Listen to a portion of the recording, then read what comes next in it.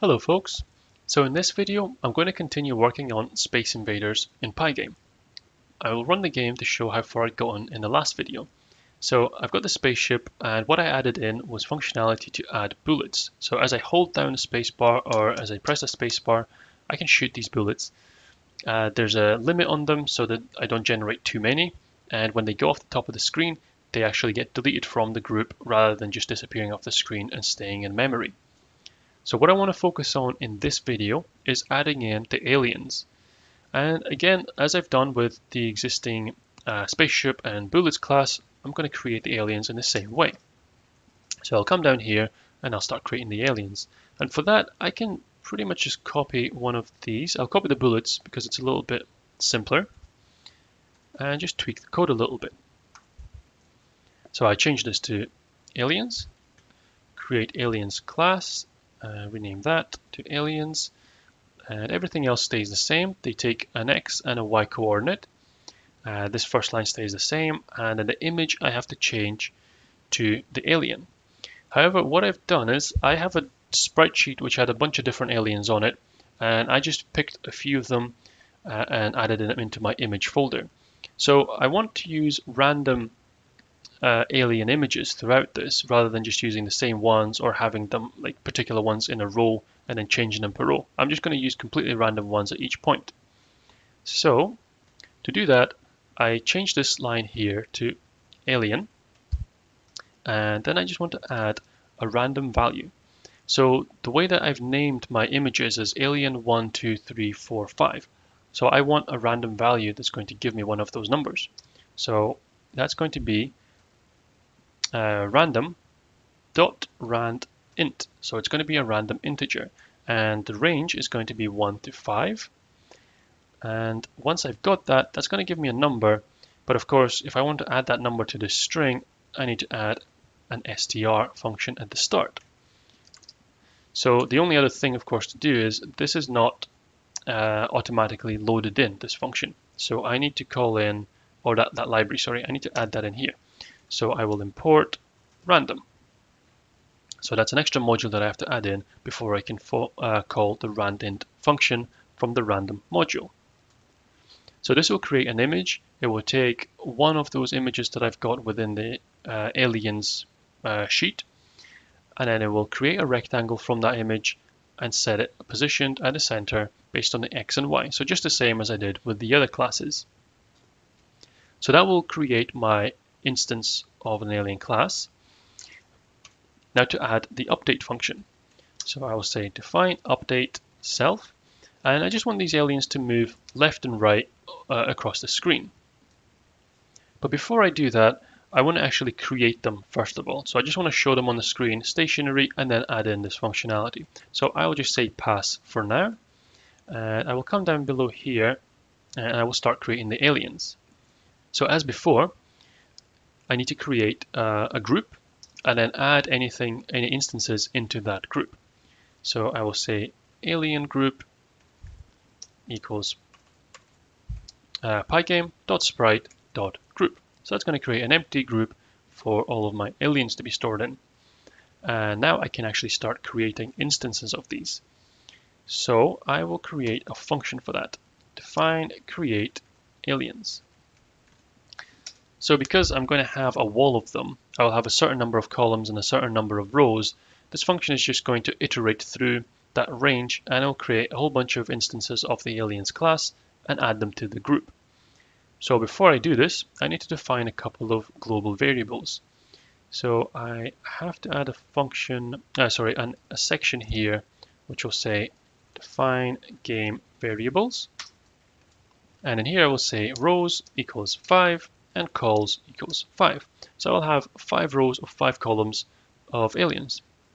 So now I've got those defined, I can continue with this function.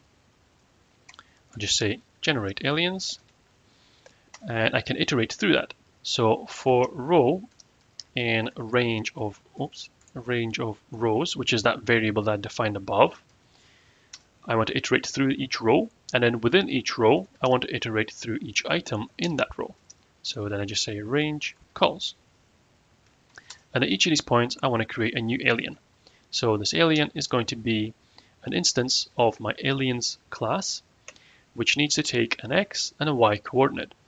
The x and the y coordinates are going to change depending on which row and which item I'm in. So as these numbers increase, I want to create the aliens next to each other and then once I finish the row, I want to move down and create another row of aliens.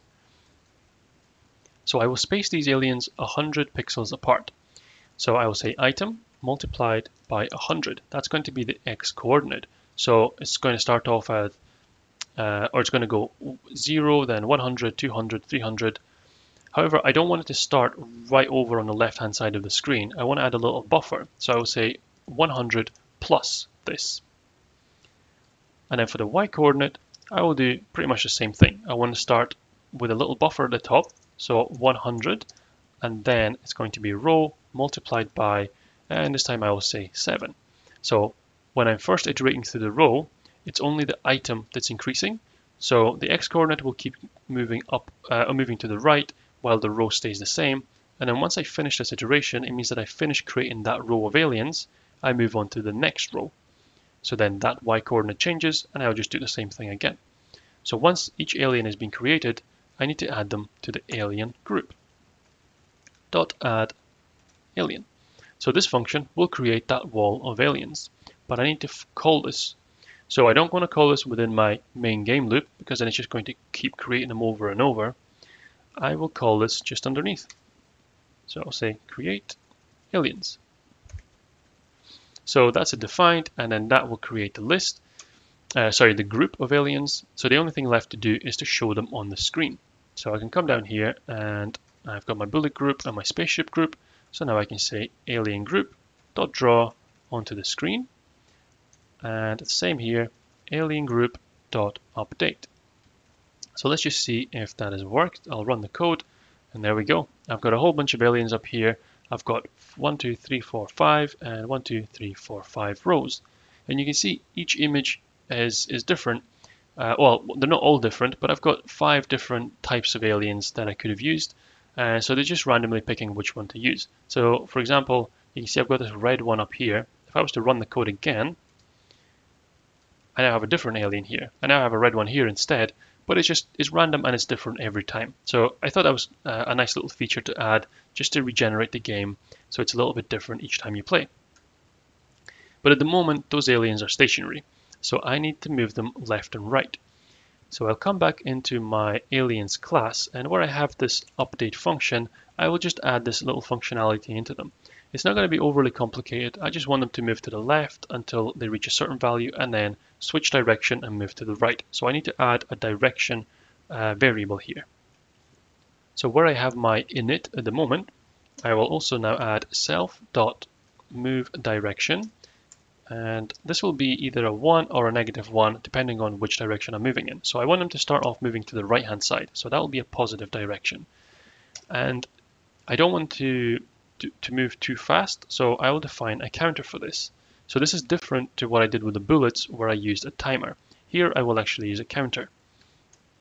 So I'll start this counter off at zero and then within my update code all I want the, the update to do is just to move them over in the direction of this variable. So self.rect.x, just increase that by one times self dot move direction. Actually, I don't need this one times. I'm not sure why I added that. Uh, just increase it by the move direction. So as it's one, it's just going to keep moving over by one pixel. And at the same time, I want to increase that move counter by one as well. So if I get over to a certain value, so let's say if uh, the move counter, and I will use uh, an absolute here because I'm going to be using a negative move counter as well. So self dot move counter, if this exceeds 75, then I want to change the direction that I'm moving in. So self self dot move underscore direction, multiply that by negative one, so that it flips. So if it's moving to the right hand side, once it reaches this value, it will flip and it will begin moving to the left hand side and then I want to reset my counter. However, I don't want it to reset it to zero. Instead, I'm going to set my move counter just to the value of the move direction. Or rather, I will multiply it by the move direction. So I will just flip the counter. So when the counter gets to 75, I will set it to uh, minus 75. So then the aliens are going to move 150 pixels across to the other side. At that point, the move direction or the move counter will be minus 75. So this if condition will be met, the move direction will flip once more, and the move counter will be multiplied again by the move direction. So this will just move them back and forth. Let's run this code, and there we go. They move over a little bit over to this side, and then they move back across. So because they start off in the center, that is the reason why I've coded it this way. So I want them to move 75 pixels over to begin with, but then after that, I needed to move 75 pixels back to get to the starting position and then keep moving 75 pixels in the opposite direction. So this way, they just keep moving back and forth across the screen and I can shoot at them. But at the moment, I don't have any code added to uh, do any collision and aliens themselves, well, they don't shoot back. I haven't coded that part in either. So I'm going to add all of that in uh, future videos. For now, I think that will do for this video. So if you found this useful, then please do leave a like. And uh, if you want to stay up to date with the future videos, then feel free to subscribe. Thanks for watching.